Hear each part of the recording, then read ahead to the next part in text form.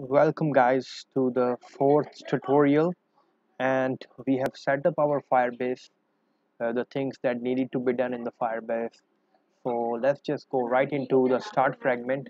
And we need Firebase authentication. And we need navigation nav controller. So what we'll do here is and we need a text view that says start feedback. Because right now if you see this is saying initializing. So we need to change it to create an account or uh, loading or something or logging in. So anyways let's take a method on view created. And here we will be initializing these. So first of all we need an instance of firebase authentication. We need nav controller instance. Navigation dot find nav controller is view. And we also need to find this text view. View find view by id start feed text if I'll go to my start fragment and let's check the name of uh, initializing a start with text. So what we'll do here is this is being initialized and in on start whenever the activity starts this is a life cycle method. So you have to learn about life cycles if you don't know what is what is on start and on resume. It basically just takes care of what happens when your app starts? What happens when your app is in the background? What happens when you are resuming the app after coming from the another app? So let's just go check here. Firebase user current user firebase auth dot get current user. If current user is null means there is no user then firebase auth sign in anonymously add on complete listener. Okay.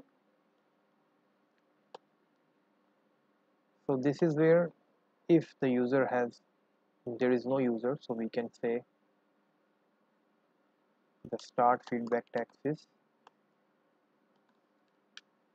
creating an account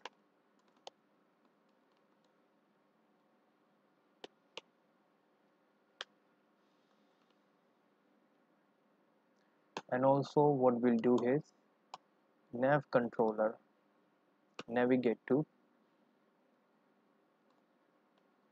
rid action dot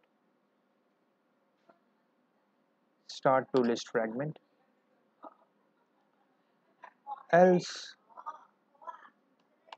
if task is successful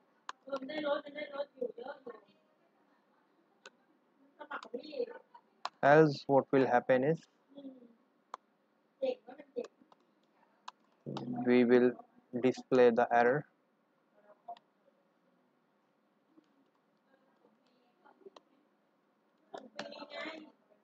Task dot get exception to string.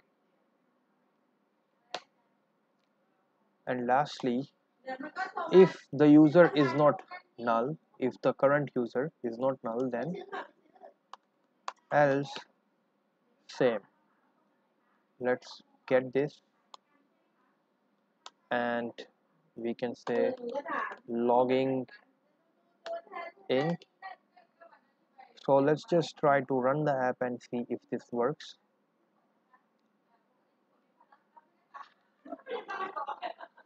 So yeah let's just see what happens this is our app and it is it is about to run. And we'll see if it has created uh, an anonymous user for us.